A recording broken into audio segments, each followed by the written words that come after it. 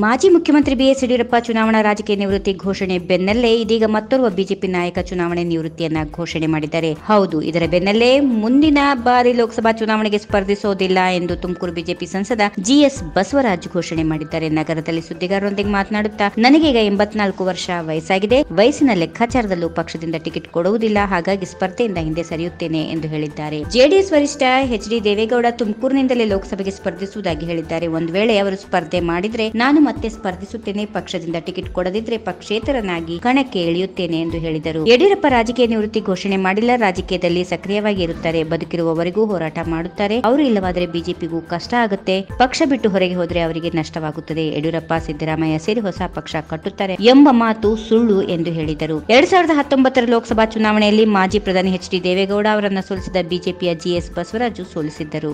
If you like this video ಬೇಗ like ಮಾಡಿ comment ಮಾಡಿ ಶೇರ್ ಮಾಡಿ. ಹಾಗೂ ಯೋಯೋ ಟಿವಿ ಕನ್ನಡವನ್ನು ಸಬ್ಸ್ಕ್ರೈಬ್ ಮಾಡಿ.